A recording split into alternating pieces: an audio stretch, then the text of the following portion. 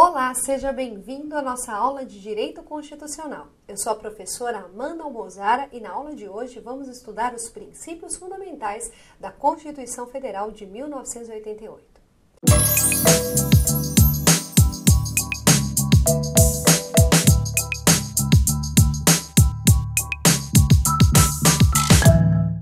Muito bem, o tema Princípios Fundamentais da Constituição Federal de 1988 está previsto no título 1 da Constituição Federal e vai do artigo 1 ao artigo 4 da Constituição.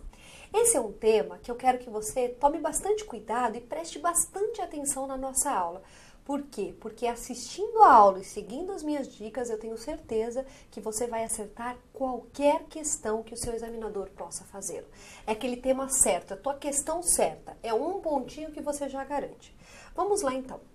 O título 1 da Constituição estabelece os princípios fundamentais, ou seja, quais são os alicerces, quais são os pilares estruturantes da Constituição Federal de 1988.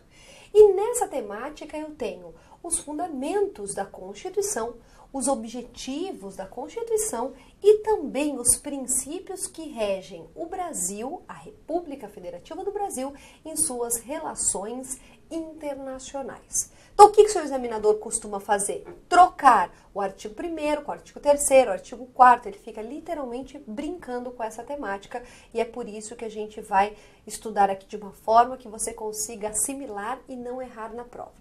Vamos começar a análise do artigo 1 da Constituição, que diz: a República Federativa do Brasil, formada pela união indissolúvel dos estados, municípios e Distrito Federal, constitui-se um Estado democrático de direito e tem como fundamentos, ele vem e elenca cinco fundamentos.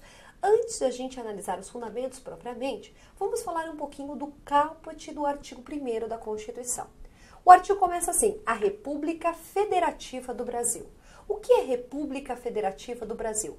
É o nome do nosso país. Então, qual é o nome do Estado brasileiro? República Federativa do Brasil. Brasil é apelido, que o nome tecnicamente é República Federativa do Brasil. Muito bem, o que significa república e o que significa federativa? O que significam essas duas palavras? República designa a forma de governo e federativa designa a forma de Estado adotada pelo Estado brasileiro. Então, o que é forma de governo? Forma de governo nada mais é do que a titularidade e o exercício do poder político. Quem é o titular do poder como elemento do Estado no Brasil? É o povo. Onde eu encontro isso? No artigo 1, parágrafo único da Constituição, que diz: todo o poder emana do povo, que o exerce diretamente ou por meio de seus representantes nos termos desta Constituição. Ou seja, o poder no singular como elemento do Estado é do povo. A titularidade desse poder é do povo. O povo é o titular do poder. Portanto, eu tenho um sistema republicano, ou seja, república significando res, coisa, pública, ou seja, coisa do povo. Aqui o poder é do povo, é o Estado do povo. Muito bem. Já a federação designa a forma adotada pelo Estado, ou seja, como que internamente é feita a organização político-administrativa desse Estado. É feito de forma descentralizada, com autonomia? Se sim, é o modelo federativo. Então, nós adotamos essa descentralização político-administrativa do Estado, em que eu tenho dentro do Estado a descentralização em pessoas que, dotadas de autonomia, representam cada uma, cada uma delas um determinado interesse. A União, interesse de ordem nacional. Os estados, interesse de ordem regional. O Distrito Federal, interesse distrital. E, por fim, os municípios com interesse local. E aí o tema a gente estuda melhor na aula de organização do Estado. Muito bem, então eu tenho que saber que república é forma de governo, federativa, ou seja, federação, é forma de Estado. Também não confunda forma de governo, forma de Estado com sistema de governo e regime de governo. Regime de governo nada mais é do que o exercício do poder de forma representativa ou não, participativa. No regime de governo, há participação efetiva do povo na vida do Estado? Se sim, tem um regime democrático, que é o por nós adotado. Ou seja, todo o poder que emana do povo também é exercido efetivamente por ele, sendo que ele participa ativamente da vida do Estado, confirmado pelo artigo 1 combinado com o seu parágrafo único. E não confunda o regime de governo, a democracia, com o sistema de governo presidencialista. O que eu tenho no sistema de governo presidencialista? Eu tenho uma concentração na representatividade das chefias, ou seja, o chefe de Estado e o chefe de governo é um único indivíduo, é uma única pessoa, representando interna e externamente o Estado, o país. Então, chefe de Estado e chefe de governo centrados numa única pessoa. Vamos ver então só em oposição: forma de Estado, federação e o que eu teria se não fosse federação? Estado unitário. Nós adotamos a federação. Forma de governo, república, o que, que eu teria em oposição? A monarquia. Sistema de governo, adotamos o presidencialista. O que, que eu teria em oposição? O sistema parlamentarista, em que haveria uma separação entre a chefia de Estado e a chefia de governo, chefe interno e chefe externo. Muito bem, então quando eu falo República Federativa do Brasil, eu tenho que saber República, forma de governo, Federação, forma de Estado, que depois a gente vai estudar no artigo 18 e seguintes da Constituição.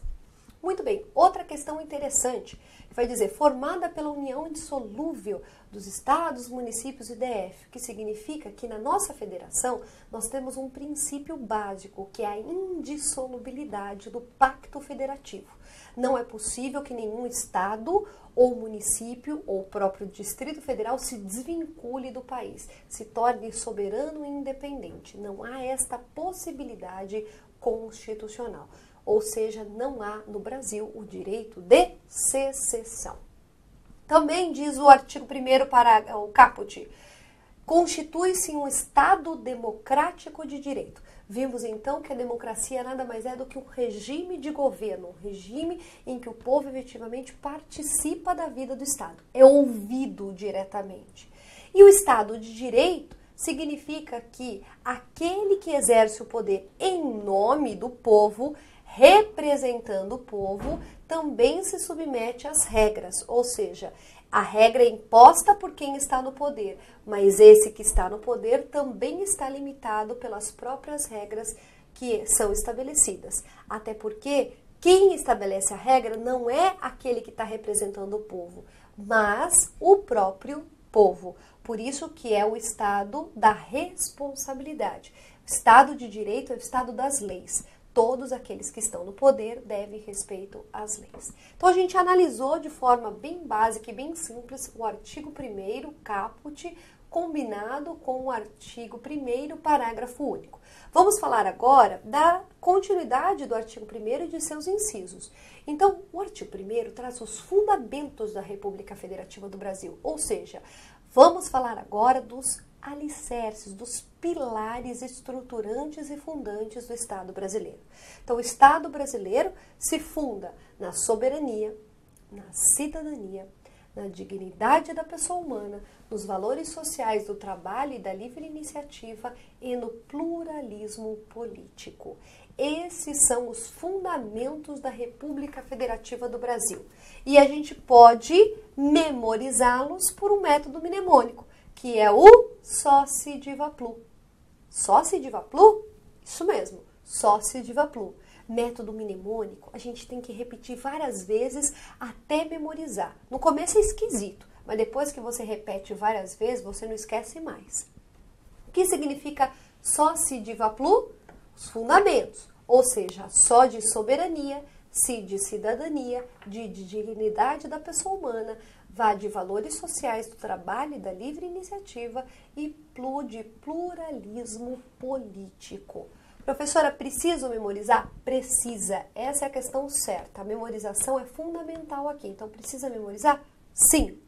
Quais são os fundamentos? Soberania, cidadania, dignidade da pessoa humana, valores sociais do trabalho e da livre iniciativa e pluralismo político. Então, o que significa soberania? Significa que o Estado ele é soberano, ou seja, estabelece as suas próprias normas, não reconhecendo interna ou externamente nenhum poder superior ao seu, apesar de conviver atualmente com demais estados soberanos e tendo aí um conceito um pouco diferente do que o tradicionalmente estabelecido para a soberania. Mas a ideia é: quem manda aqui sou eu, dentro da minha casa, quem manda sou eu, Estado brasileiro. Ou seja, não permito que ninguém venha mandar aqui, porque quem estabelece as normas que vigerão no meu estado é o próprio estado. Cidadania no sentido de participação ativa do indivíduo, do povo na vida do Estado. Essa participação ativa decorre do exercício de seus direitos políticos ou eleitorais. Então, o cidadão é aquele que tem título de eleitor, vota participando ativamente da vida do Estado. Dignidade da pessoa humana como valor supremo e máximo consagrado pela nossa Constituição. Dignidade, inclusive, vista como um princípio por sua carga extremamente forte de valor e também a sua amplitude e abstração de aplicação. Dignidade nada mais é do que dar condições mínimas e essenciais para que o indivíduo, a pessoa exista e exista de forma digna, ou seja, dando o mínimo para que aquela pessoa possa existir e sobreviver num contexto social. Os valores sociais do trabalho e da livre iniciativa são os dois lados da balança, o trabalhador e também o empregador, aquele que fornece o trabalho é aquele que exerce a livre iniciativa, chamado de empresário, e do outro lado, aquele que está disposto a trabalhar, a oferecer aos, as suas é, aptidões para fins de ganhar o seu dinheiro. Então, o Estado vai valorizar os dois lados, tanto o trabalhador quanto o empregador, tanto o trabalho quanto a livre iniciativa. Então, a gente contrabalanceia esses dois pontos. E por fim, o pluralismo político, que significa dizer que nós conjugamos uma diversidade de ideologias. Não temos uma única ideologia imposta para o exercício do poder político. É por isso que a gente pode ter uma série de partidos e cada um defendendo uma corrente ideológica, porque nós adotamos essa diversidade de pensamentos e a liberdade de seu exercício. Agora, em contraponto aos fundamentos, nós temos os objetivos da República Federativa do Brasil. E como que eu memorizo? Com outro método mnemônico. Qual é o método mnemônico? Conga e repro. Eu brinco que é o método da Gretchen, né? Porque é o conga.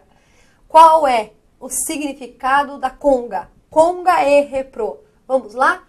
Conde, construir uma sociedade livre, justa e solidária de garantir o desenvolvimento nacional, e de erradicar a pobreza e a marginalização e de reduzir as desigualdades sociais e regionais e pro de promover o bem de todos sem preconceitos de origem, raça, sexo, cor, idade e quaisquer outras formas de discriminação. Então não confunda os fundamentos com os objetivos. Os objetivos fundamentais são os propósitos, as metas, ou seja, onde nós queremos chegar, o que o Estado brasileiro está fazendo e onde que ele quer chegar, qual é o propósito que ele quer atingir. Então, como que você diferencia o fundamento do objetivo? Fundamento é algo que nós já reconhecemos e temos desde já. Objetivo é aquilo que eu estou buscando, que eu quero atingir. Por isso que eles vêm em forma de verbos: construir, garantir, erradicar, reduzir e promover. Muitos alunos, eu sei, decoram é, e, ou usam a técnica seguinte: objetivo é verbo. Hum, não gosto. Por quê? Porque ele fala, ah, objetivo é verbo. Quando não for verbo, é fundamento. O problema é que às vezes o examinador pode trazer os fundamentos e colocar algum verbo antes. Então, por exemplo, são fundamentos da República é, Federativa do Brasil é, consagrar a dignidade da pessoa humana. Pronto, colocou lá um verbo na frente e você acaba errando. Então, não gosto dessa técnica de decorar que um é verbo e o outro não é verbo. Eu prefiro que você memorize com método mnemônico ou simplesmente porque você tem facilidade de memorização. Então, conga e repro, sócio de vaplu. Sócio de vaplu, fundamentos. Conga e repro, objetivos. Vamos falar um pouquinho dos objetivos. Os objetivos são construir uma sociedade livre, justa e solidária, representando os ideais da Revolução Francesa, ou as dimensões de direitos, liberdade, igualdade e fraternidade. Sociedade livre, justa e solidária. A garantia do desenvolvimento nacional no sentido de buscar sempre melhorar o desenvolvimento da nação, que consequentemente o desenvolvimento do país vai beneficiar e trazer melhorias à vida desta sociedade ou desses indivíduos. Erradicar a pobreza é a marginalização e reduzir as desigualdades sociais e regionais. Cuidado com esse dispositivo. Por quê? Porque o seu examinador troca. E aí você, se tiver distraído, vai errar. Diz o artigo 3 inciso 3, erradicar a pobreza, reduzir a desigualdade. Eu quero erradicar a desigualdade? Vamos pensar, colocar isso em prática. Ninguém mais é desigual. Todo mundo tem exatamente a mesma coisa. Todo mundo tem o mesmo patrimônio, todo mundo tem o mesmo carro, todo mundo tem a mesma capacidade aquisitiva. Isso funciona? É esse o nosso propósito? Eu quero que as pessoas possam ter diferentes capacidades, até numa questão social e regional. Todavia, eu não quero que ela seja muito distante. Eu quero que essa desigualdade ela esteja dentro de uma faixa tolerável. Por quê? Porque mesmo aquele que esteja abaixo numa faixa de igualdade, ele tenha condições mínimas de existência digna. Então a ideia é reduzir a desigualdade social. Então vai ter gente que vai ter menos? Sim, mas ele tem casa, ele tem carro, ele tem televisão, ele tem fogão, ele tem geladeira, ele tem né, possibilidade de trabalho, ou seja, ele não tem tanto quanto outros, mas ele tem tudo que é mínimo para que ele exista de forma digna. Agora, a pobreza a gente quer acabar, a gente quer erradicar, que ela seja disseminada. Pobreza, que é aquela faixa abaixo da dignidade da pessoa humana, marginalização, isso realmente a gente quer erradicar. E por fim, promover o bem de todos, sem preconceitos de qualquer ordem, seja de origem, raça, sexo, cor, idade. Hoje não admitimos nenhuma forma de preconceito. Esse é um objetivo do nosso país. Aceitarmos as diversidades e sermos tolerantes a elas, respeitando a liberdade dos indivíduos. Então, este é o propósito do nosso país. Espero que você tenha gostado dessa aula. Se gostou, compartilhe e espero encontrá-lo aqui no próximo encontro em que a gente vai dar continuidade ao tema princípios fundamentais. Até lá!